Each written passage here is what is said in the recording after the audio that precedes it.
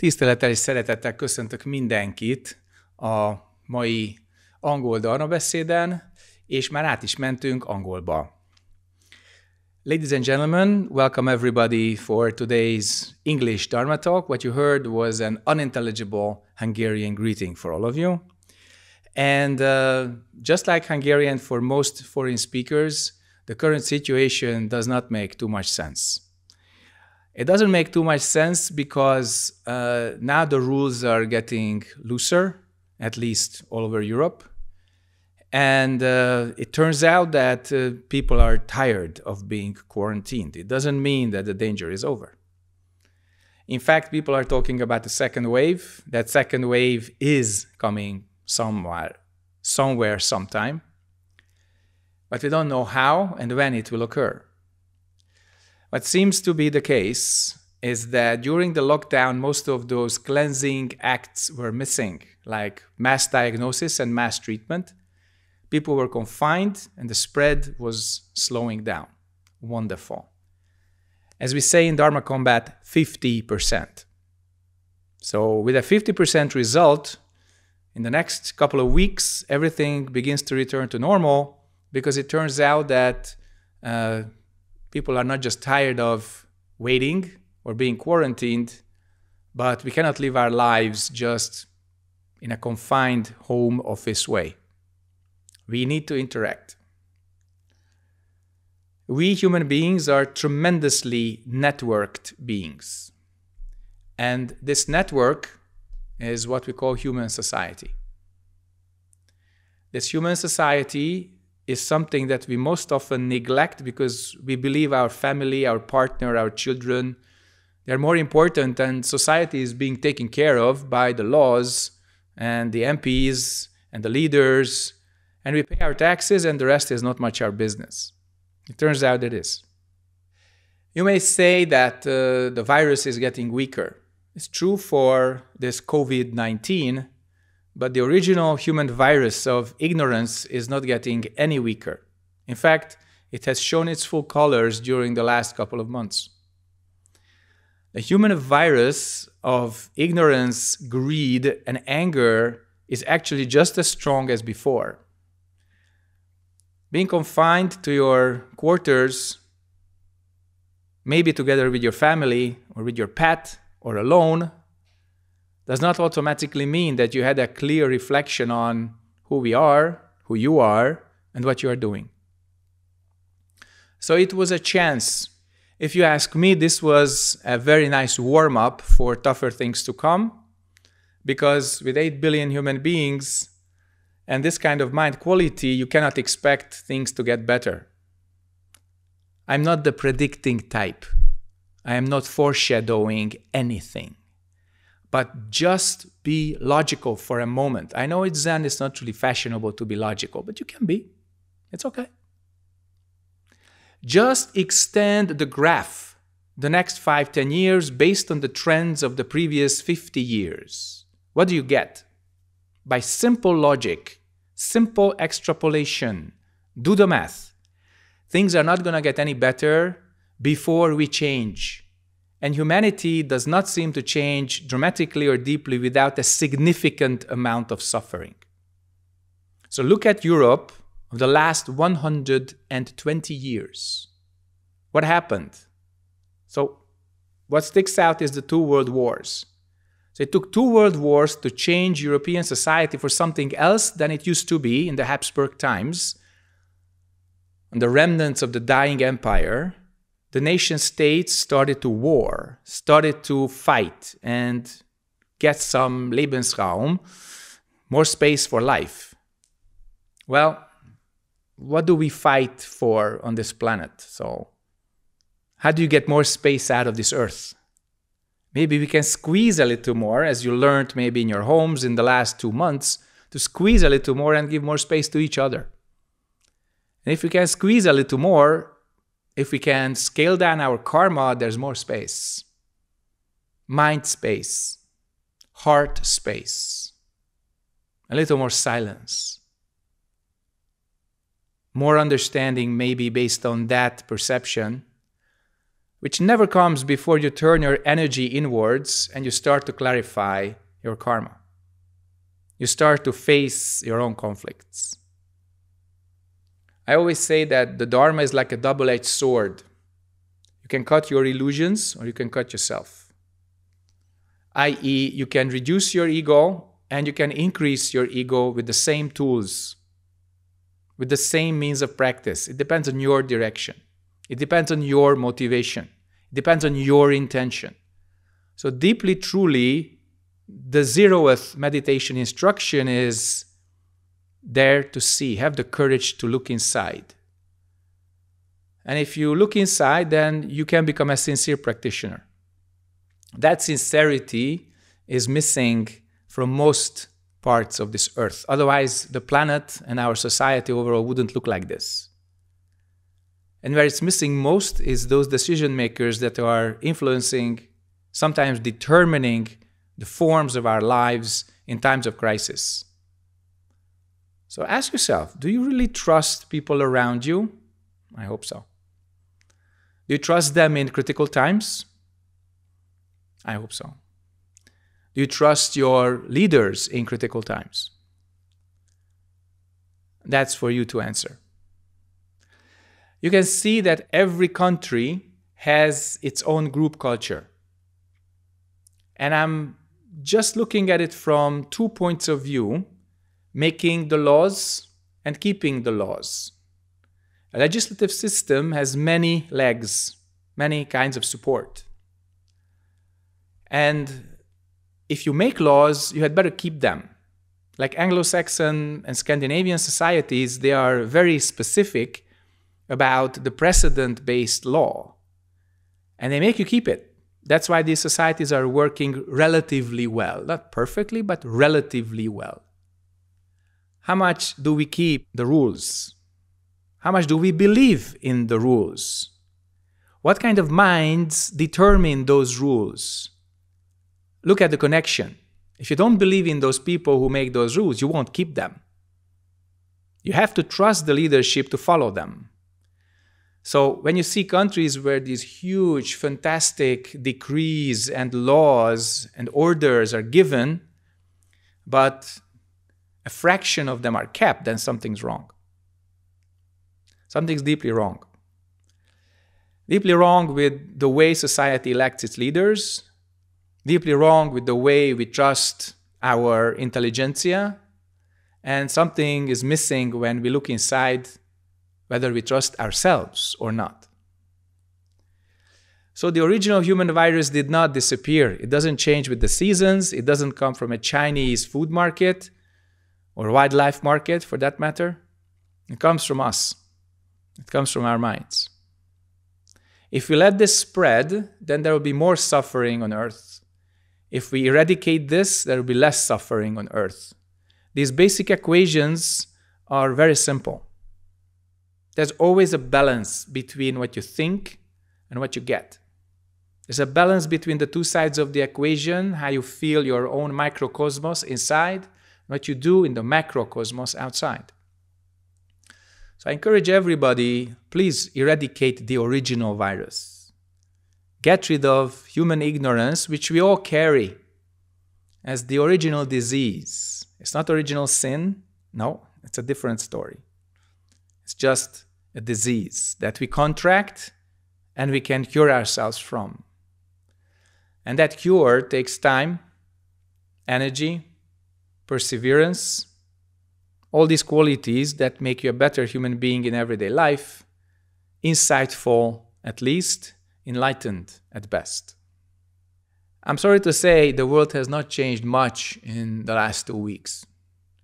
Did we change at all in the last two weeks? That's the question. So I can see a lot of faces from uh, various countries. I'm glad that all the 38 of us are here. And if you have any questions, please send me a chat. Laszlo, dear Sunim, I practice twice daily 54 prostrations, listening a little to chanting, and 50 minutes of sitting meditation. I feel like I should practice more. I would have time for it. How to improve my daily practice? And it's wonderful that you're practicing twice daily 54 prostrations. double it, like in a Zen casino, double it. 108 in the morning, 108 in the evening. Listening a little to chanting, try to recite it yourself. Not just listening, passively absorbing, which is better than not absorbing it, but chant.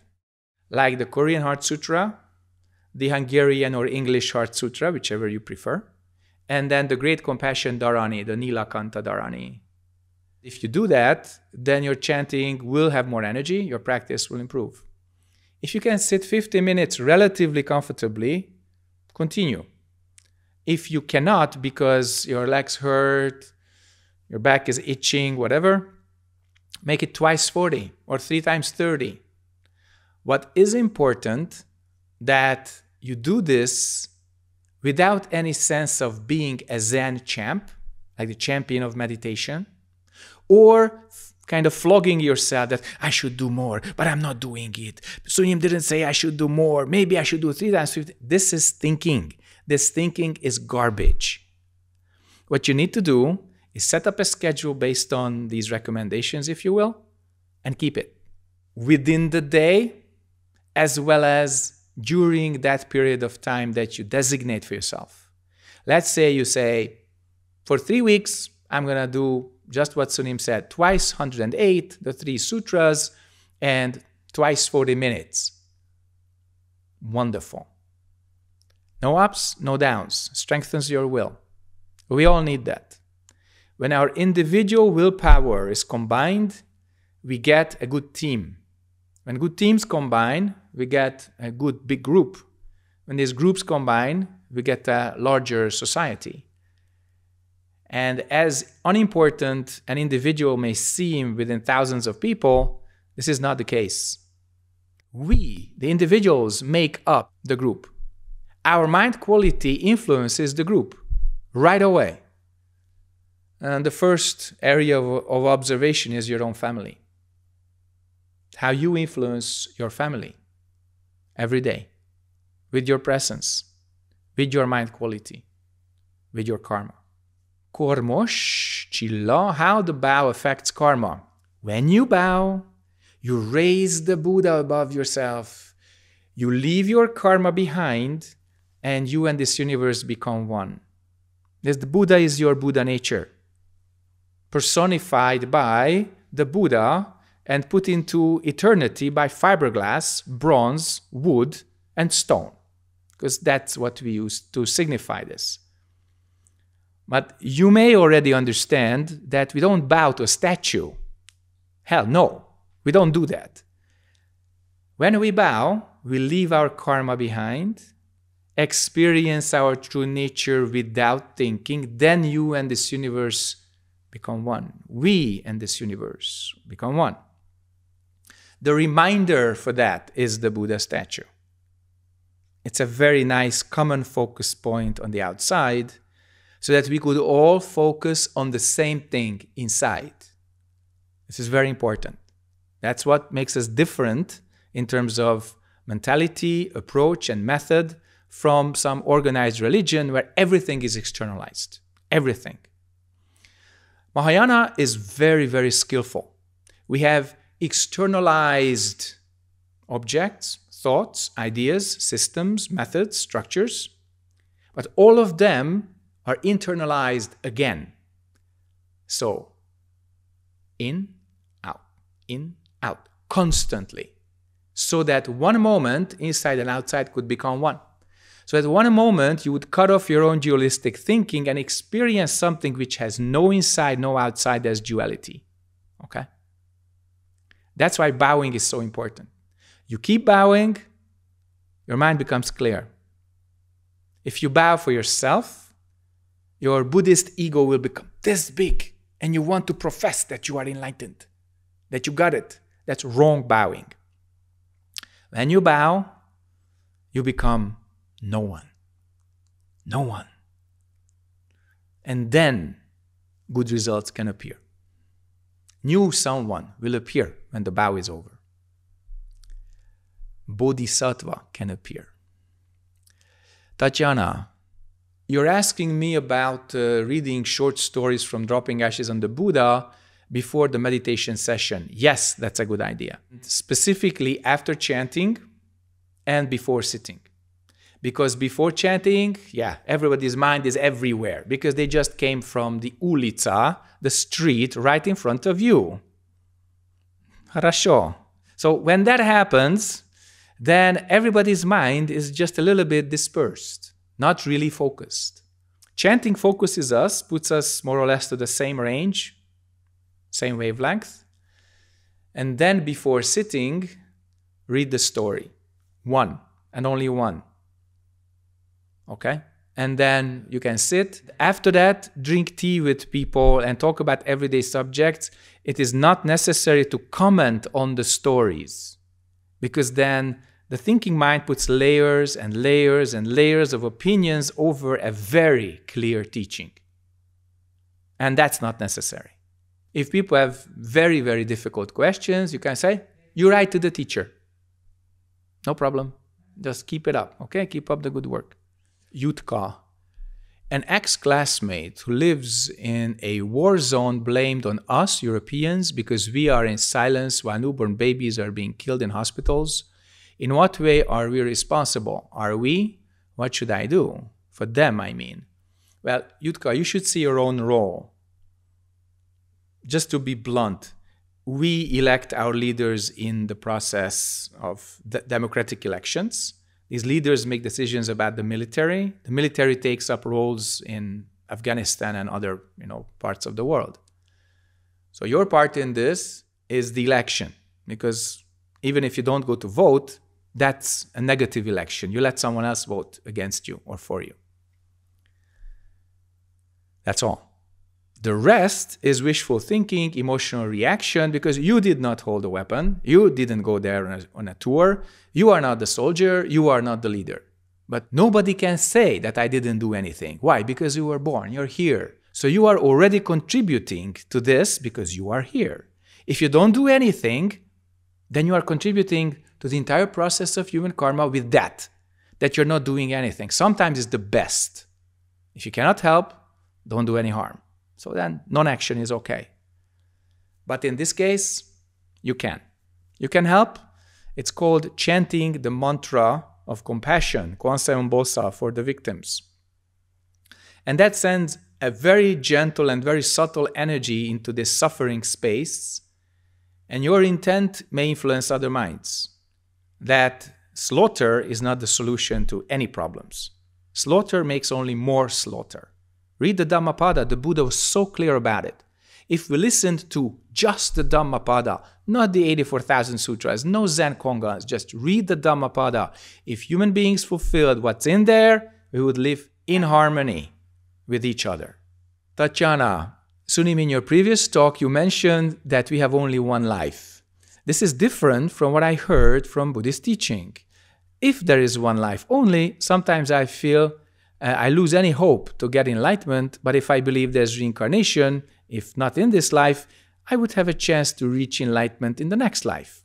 Daragaya Tatiana, I have to say that you didn't quote me exactly because I did say that we have only one life in this body with this mind. That's the complete sentence. Of course, we keep that teaching that we had previous lives and we will have future lives. But if we relax into that, then you become the Hindu priest who says, well, maybe in a few Mahakalpas, maybe in a few thousand lifetimes, a few tens of thousands of lifetimes, you get the moksha, the enlightenment that's uh, too far ahead. If we say that we have only this life, that's not correct. You didn't come from nothing and you're not going into nothing. But if we don't emphasize the importance of this life with this kind of mind, with this kind of body, with this kind of karma that you met the Dharma, you met your teacher, you met your Sangha, and you have a chance to get enlightenment, then we are doing a disservice to all human beings. We have to emphasize this we have to be very specific and clear that this human body is a great value no matter how much you suffer sometimes. This human mind is a great value no matter how much you hate yourself and your karma sometimes. But this is the only way to wake up. Why? All the karma that you made in any lives was done with the body and the mind. It's like a specific size 48 wrench. If you want to loosen it or tighten it more, you need another size 48 wrench. And that's why we need another human body and another human mind to get the job done. That's why we are born again.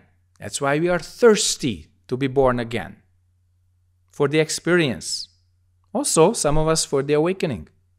So, this is really important to see that in this life, with this body and mind, we have only one chance. Because this mind and this body is not coming back. When you die, it's over. Next kind of mind depends on your karma that you carry with yourself or the identification. And that identity, that karma, that bunch of, you know, willpower and quality creates the next body, time, place of your next birth. And that is something we don't know. And I say we had better not. We had better do things right now, this lifetime, with this body, with this mind. So focus and accept the infinite future and the infinite past, but don't lose the moment. Don't, don't lose the importance of this mind and this body. It's not coming back. There are four difficult things in life getting a human body, meeting the Dharma, meeting your teacher, and attaining enlightenment. These are the four great fortunes. Look what we have to do to get that. Look what our family has to do that we would get that. Look what our society has to do so that we could practice. So, our job is to recycle this merit, this kind of clarity, into society, into our families, into our relationships. So, then the importance of this life cannot be overemphasized. Mate. It's great to see you too, Mate, for an Ironman event. Well, you're right when you say you'll probably face a great deal of chatter in your mind. You're asking me what you should focus on. Your first suggestion, the breath, is fine. If your chatterbox runs infinite during an Ironman event, you cannot have a server farm running, i.e., long mantras are out. So if your mind is really just peeling off your breath and you need some anchor, then use the Om Nam mantra. Om for in breath, Nam for the out breath. And that cuts off all thinking. And don't lose it. There's nothing else. It's like climbing. When you climb, you have two hands and two feet to get to the rock surface. You can only let go of one of them at the same time. The other three, they have to hold. So if you lose the awareness of the body, you should have the breath and the mantra. If you lose the awareness of the mantra, you should have the breath and the body, and these two will restore the third immediately. So, body, energy slash breath, and mind. All the three of them, if they are in place, you can get good results. Beyond a certain level, it's only your mind that determines the outcome. Look at the top five teams in Champions League, look at the top 100 players in ATP tennis, look at the best 10 teams in water polo. It's only their minds, beyond a certain level of skill and training, that would determine the result. Beneath that, they need to train more. They have to have more skills, etc. But if you're above that threshold, that only your mind matters, then meditation practice can further your results. You can get higher scores. I mean, Chicago Bulls, the basketball team, they were very famous for their own mind coach. They were the first in NBA that openly said that we have a coach that is not just teaching us how to dribble, how to have three pointers from downtown, they teach us how to keep our minds. Okay? So keep your mind focused, and what's important, whatever happens in the body, keep your tantian focus. Your tantian focus will help the physical, the mental, the breath, everything. Don't think about it. Not before, not during, not after. Just do that. All right? Dorka. What happens if someone feels that rebirth does not help because one feels so stupid to change and like a fly try to escape through a clean window and always knocked down by the window, something like this. So, what does one do when we feel too stupid? Then you have to get out of the study room where you feel stupid. You have to get out of this mind, this thinking, which believes in these ideas that stupidity and rebirth have anything in common or in connection. Try and lose your ignorance through clear practice. So, when your mind returns before thinking, then there is no duality, whether ignorant duality, stupid duality, clever duality, it's all gone. So return to the sky is blue, the trees are green truth, because that has no stupid or clever. It's just like this. Then treat your thoughts just like this, your own speech just like this. Don't label yourself as stupid or clever. Some people have a lot of thinking, but they are ignorant. Some people can have a few words a day, but they're super wise. So do not judge yourself. Do not label yourself. Perceive your thinking and use it to the extent you can when necessary, and do not use your thinking when it's not necessary. That's fine. Shai and his wife have a friend who got pregnant lately by a man who is emotionally abusing her. She's in a bad physical condition, can't eat, crying. She doesn't want to break up with this guy and continues to see him and says that she loves him. At which point should we move from actions, material, emotional support, to letting go, i.e., more suffering is necessary? Should we end our relationship with her or him in order to emphasize the effects of their actions? Shai, you are living in a hot corner of the world. I know that. So the crisis that you mention is actually very, very real. My suggestion is neither. You're very logical, that's good. You're very compassionate, also wonderful. And you have the passion to get things done. I know. I know you well enough for that. And I'm asking you to ask the right question to this pregnant, abused woman ask her, What do you want?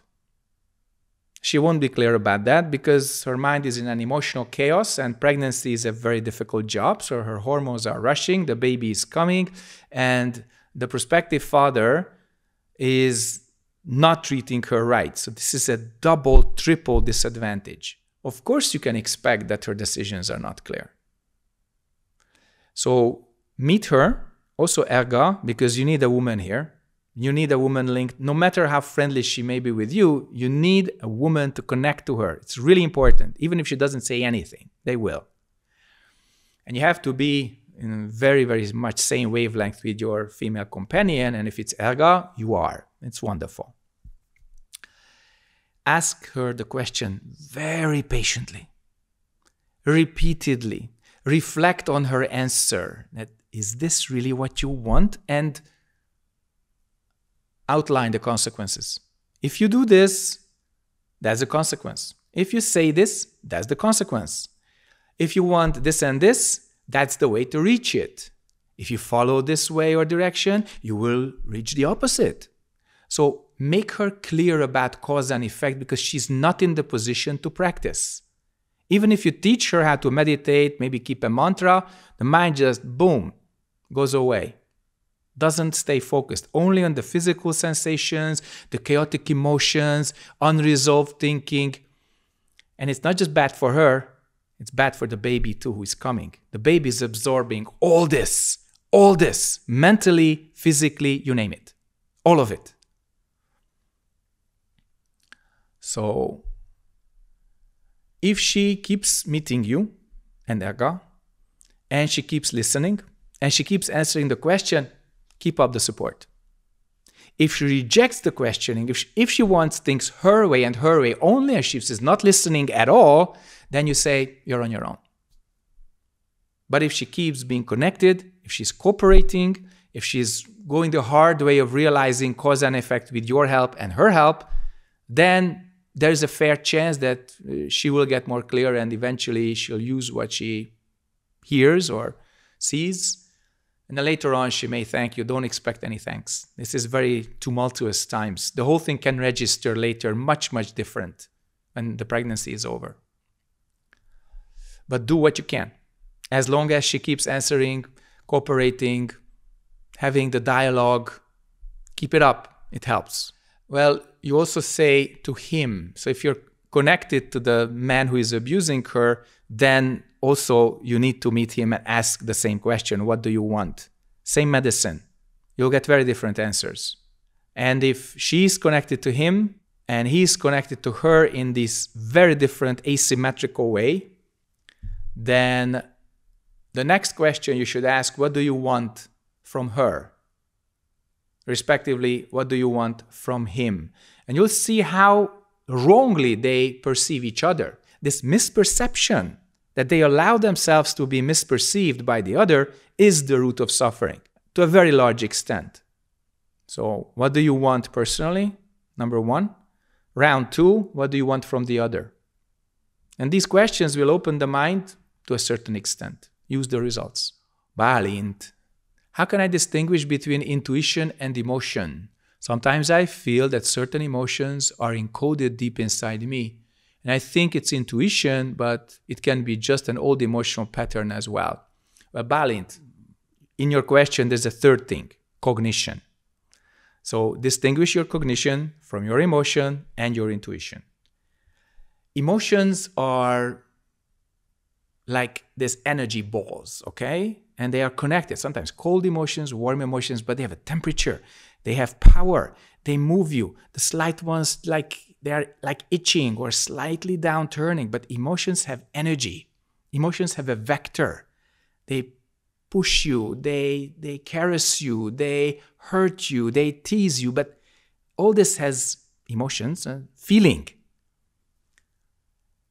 Thinking is much much lighter, sometimes colder, sometimes like electrons versus the protons and strong nuclei of emotions.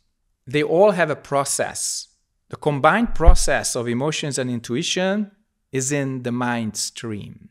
So there's always a previous thought, and then this thought, and the next thought.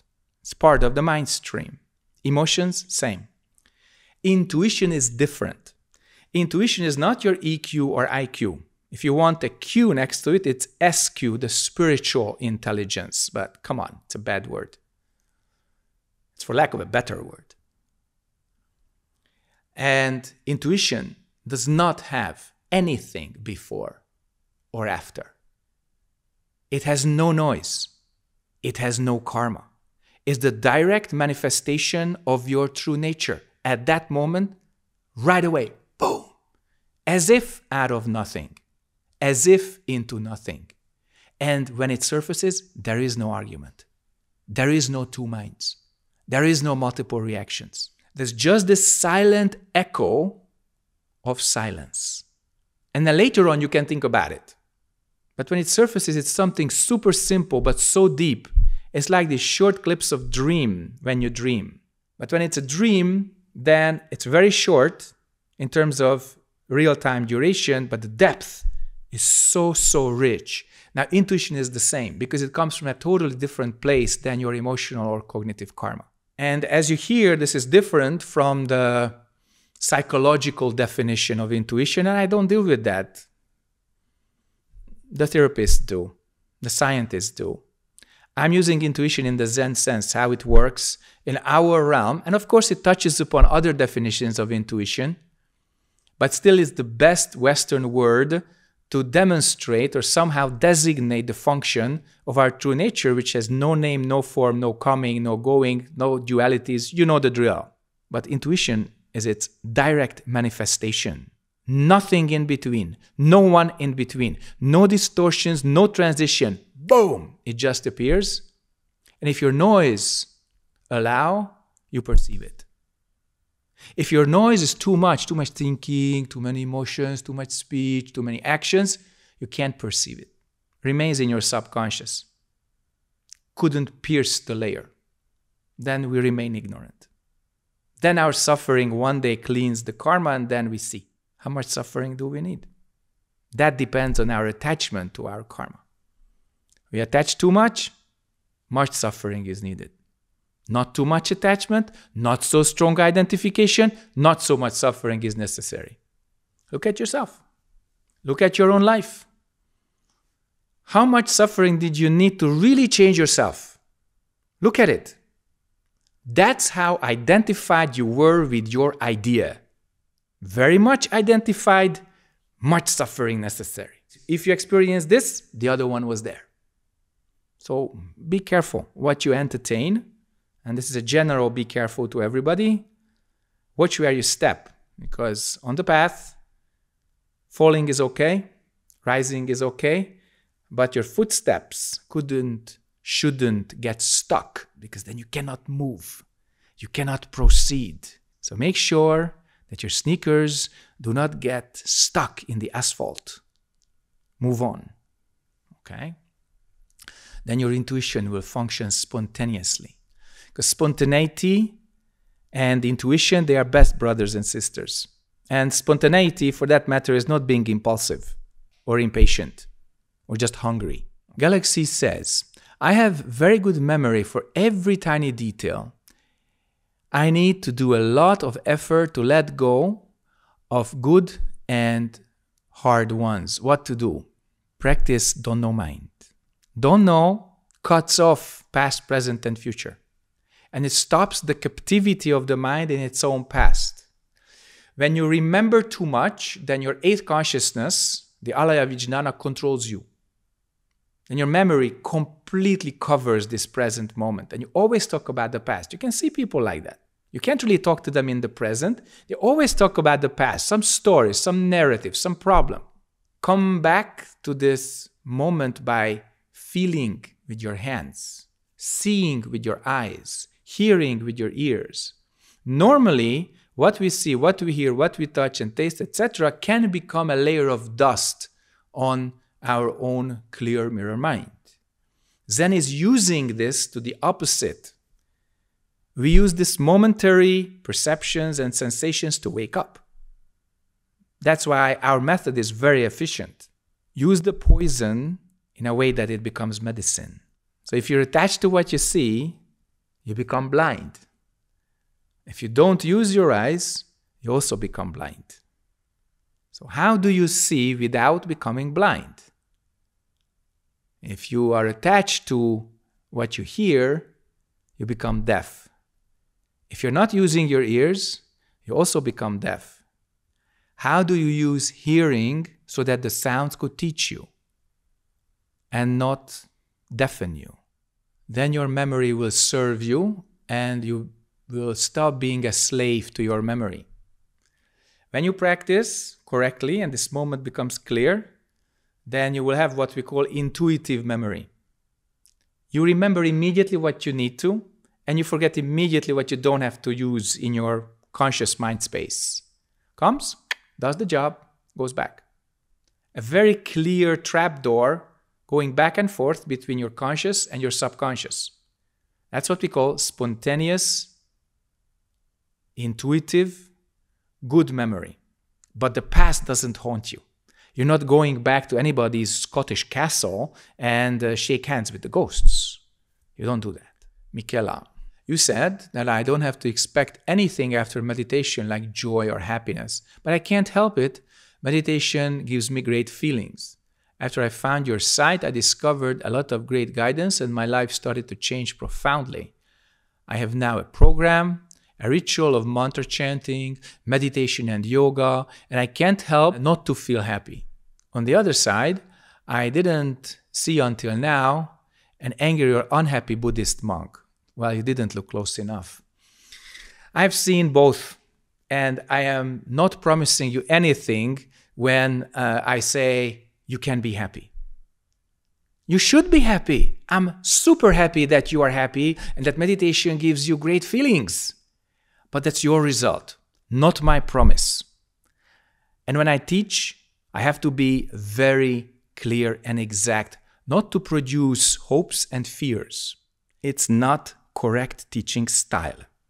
Teaching style is I am very prudent and very exact. So I tell you, look inside, see things as they are, just like this. And if you get happiness, you know, at the very end, it's fine.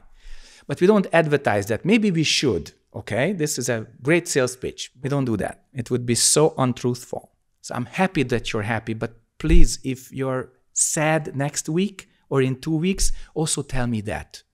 I'll be happy to see that you are honest with me with your sadness, and I will grieve with you. I'll be sad with you. I'll shed tears with you, and that will also help. That's fine. So one day sad, other day happy. Like they asked the Master Majo, he was sick. Sir, how has your venerable health been lately? And Majo said, Sun face Buddha, moon face Buddha. Attain that, then happiness is no problem. Sadness, no problem. Galaxy S9. In education, I use a lot of repetitions. How does it go with changes and transforming? Come on, Galaxy, have you driven in a nail? You repeatedly hit the nail on the head, and the nail is going in. That's how change is enacted by repetition. You have a relationship for 30 years, maybe your wife or your husband, because Galaxy doesn't have a gender, and for 30 years you keep repeating, I love you. That has effect. It changes a lot of things, especially when it's very sincere. Dorka.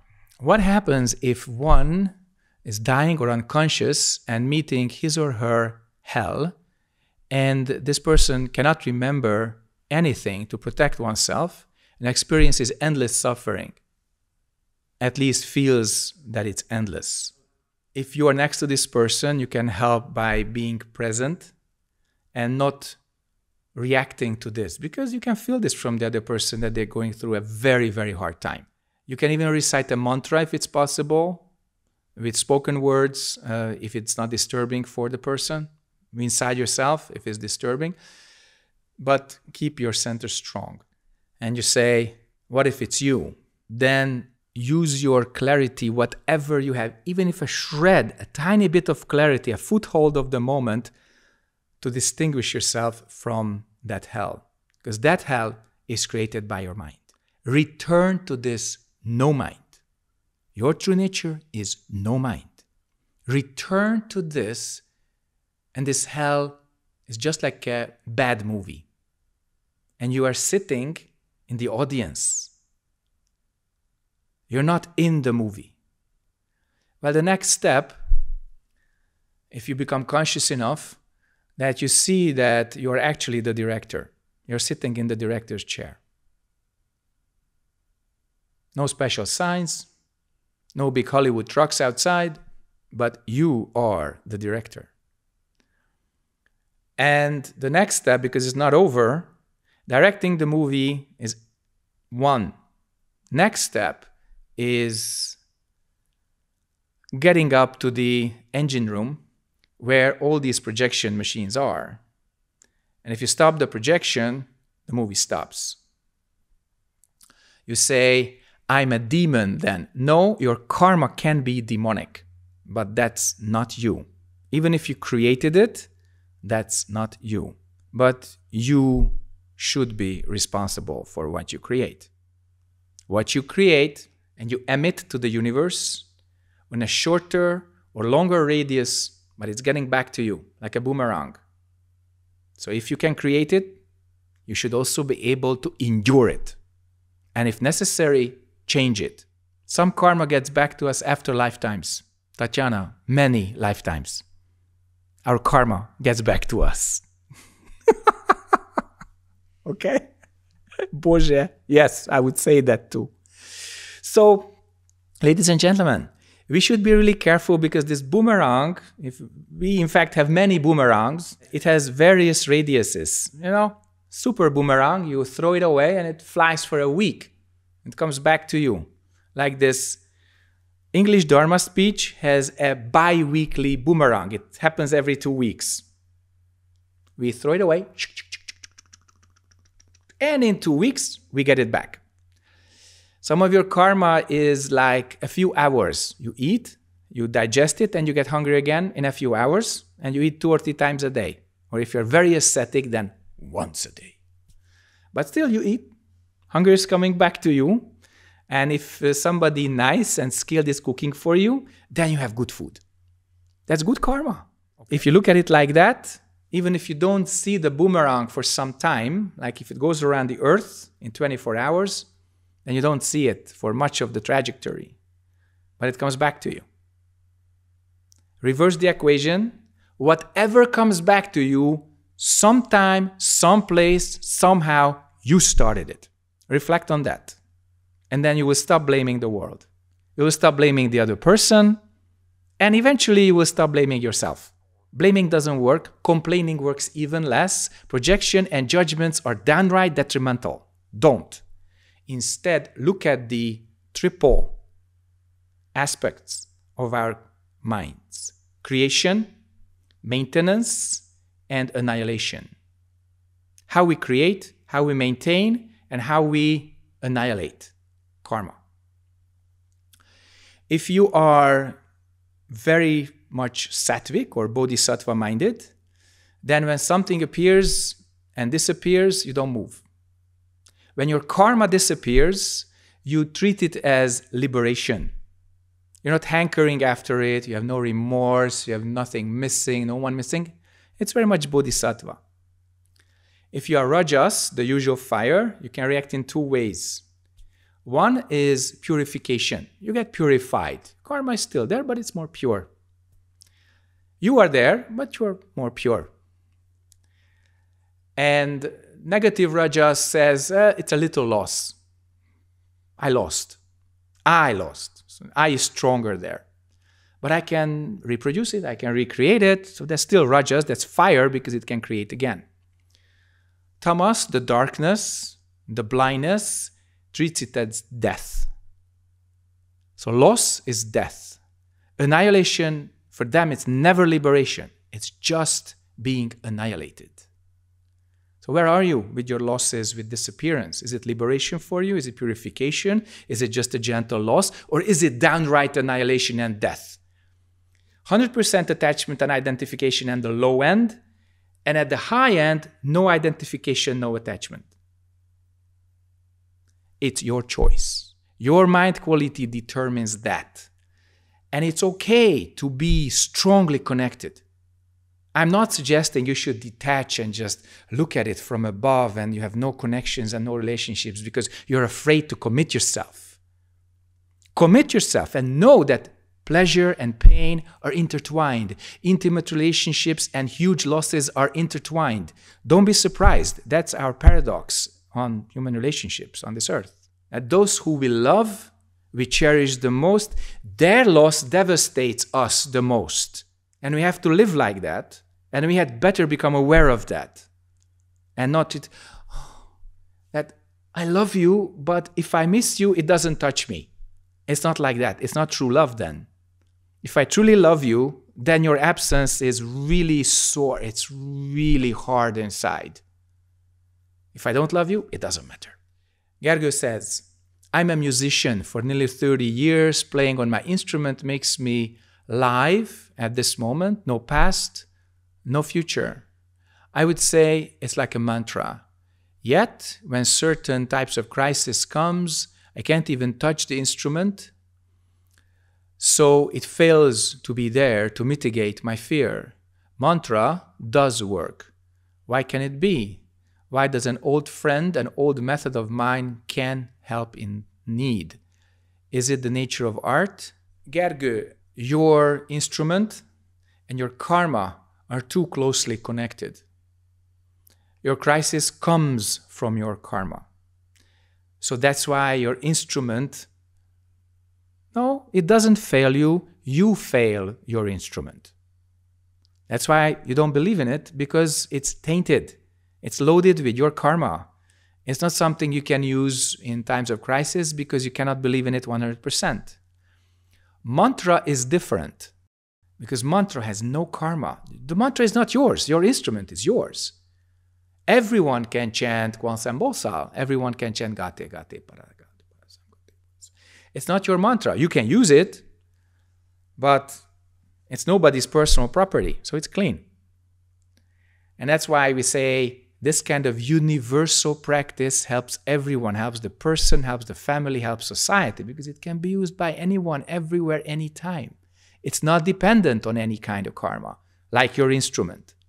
But if you just play without thinking, and your crisis is made up of thinking and emotions most of the time, if you can completely cut off your thinking, then you can get back to your instrument.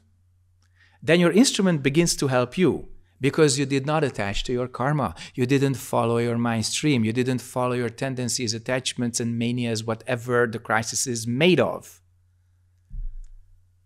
And then your art can help you. Specifically, music is very, very interesting. You know, I've been to concerts, and I probably will be. And when there is the first aviso by the conductor, when it starts, there's this moment of anticipation, and out of that moment comes everything all the concert, all the sounds, the whole presence by audience and orchestra, it's all there. And when it's over and the last aviso stops the music, there's this moment of infinity when the music is over, but the hand claps have not started yet. That moment is worth living for. It's worth being born for. It's worth playing for 30 years, going to concerts and spending thousands of dollars. Because that moment purifies us from any ego, from any self, from anything that constitutes our karma. And that moment, just this complete, unspeakable oneness, that's the highest function of art. And I'm glad you're part of it. András, what can I do if someone says something and I get stressed and feel an urge to answer right away. However, acting right away can lead to more tension. For example, a colleague saying something that I feel challenging or someone saying something that I find offensive. In theory, I know I should not react, but when I am in the situation, it is so hard to resist. Why is that? Is that strong attachment to my karma, or is it a boomerang that I may have created, or something I should learn not to act on? What to do in such a situation? András, in this situation, you have to keep your mind focused. And you can keep your mind focused by asking one question to one karma. So, like, where does this come from? Immediately there is a distance. If you have too many questions, your mind gets dispersed. If you have too many mantras, you cannot hold on to any one of them. All right? So have one mantra that you can turn on in times of stress. And you can practice that in kind of peaceful situations. You have someone talking to you, immediately you turn on the mantra and you measure your answer time. And when it's someone friendly or your, your girlfriend, etc., you can say, okay, honey, I'm going to speak with you in this relay time or lag time. So talk to me. I'm not crazy. I'm not upset with you, but I'll answer you about five seconds later than you would expect. And then you can practice that. And when it's really stressful, you already have the habit that you say, oh, oh, oh, who are you? So then the problem is gone, mostly gone, because if you don't react immediately, the situation changes. But sometimes you have to react immediately, like if you're at a red light and it turns green, don't use the five second delay because there will be a lot of honking and swearing and shouting behind you from the other cars. So measure that carefully. And in that lag time, in that delay, you can find some insight and find a different answer. That's why in our interview style, we use the hit. So when you hit, that cuts off your habits, your reactive mind, your narrative. So then this problem is partially solved, at least for a moment, and then you can reflect, not react, reflect. It's different. Reflection is clear, reaction is always dualistic. Be mindful of that. Mate, could you describe what emptiness means for you? Mate, I hit you 30 times with this stick. That will be the best teaching to describe something that cannot be described, but that will stop you thinking. And when you stop thinking, there's emptiness. Okay, so bam! Dorka. While I was unconscious, or how to say it was like a horror dream, I wasn't awake and I was scared to say any kind of mantra which I learned to help. While I die, what if that also happens? When I die, uh, can't I help get from a master or can't I be strong and feel so scared? Look, Dorka, when you die, you are on your own. I'm not scaring you. This is for a fact. There can be a thousand people around you. You can have tons of relatives trying to convince you that you're actually not dying, that you will actually get better, but you feel you're going away. You're fading. You're on your own. Everybody is on their own. If you are connected to the universe, then there's not so much fear. If you feel isolated, there's fear. You're on your own, but it doesn't mean that you cannot solve this. Build up some good habits while you are alive. So when you're scared, you have mantra. When you're not scared, you also have mantra. When anything appears, you keep the mantra and not follow the appearance. Then when you die, chances are that you can return to that habit. If your karma is stronger, your karma controls you. If your dharma is stronger, then no isolation. You're on your own, but you're not isolated. You're not alone. But you're on your own. No one can die instead of you. You will, okay? Everyone does. Keep your mantra up. When your intellect peels off, when your emotions collapse, when your uh, internal organs completely give up, and you're losing your body, then what? Then what? That's why in Zen practice we say if you're practicing 100%, then you are already dead. You experience that, not out of body experience, not this new age crap. No, you experience no mind, no mind, no karma whatsoever. And if you can keep up your practice during that time, it's like going through a thousand miles of desert with a secret water reserve. No visible flask, no big water tank, but you walk and there's always water. That's your Dharma practice. So when you die, keep your mind straight, keep up the practice that you do during this life while you have a good body and a good mind. Seung Sahn Sunim was doing really a lot of bows, sometimes a thousand bows a day, sometimes 500 bows a day, but for many years, a thousand bows a day, early in the morning before everybody woke up in the center. So they asked him, Sir, why are you doing so many bows? And he said, No, no, I'm, I'm not bowing. No, I don't do anything. Sir, come on. Why are you saying this? We know. We can hear, we can even smell it. You're bowing a thousand times a day. Why? And he says, No, no, no, I'm not bowing. I'm just building a robot. 1980s America, people, robot, okay? So everybody was shocked and flabbergasted. And said, Sir, what kind of robot is that that you're building? You don't see any metal in your room. He says, Now I am building a robot. When I get old, this robot will carry me. Reflect on that. Build your own robot. Because when your mind and body give up, only that robot can carry you. I suggest you build a Dharma robot, not something else. Any more questions? We have a couple more minutes. If you are thirsty, drink like I do. And if you're hungry, ask your question. Ladies and gentlemen, it's been a thrill to see your small little faces on the video screen online tonight. And I sincerely hope that one day we can practice together in our own beautiful temple, which is reopening very soon to the public in line with the rules and regulations. So please stay healthy and happy and practice the Dharma for all beings. Thank you very much.